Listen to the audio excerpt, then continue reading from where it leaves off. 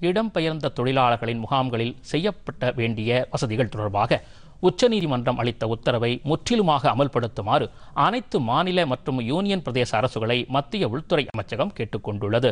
இது தொடர்பாக அந்த அமைச்சகத்தின் மூத்த அதிகாரி ஒருவர் அனைத்து மாநில மற்றும் யூனியன் பிரதேச நிர்வாகங்களுக்கு கடிதம் ஒன்றை எழுதியுள்ளார்.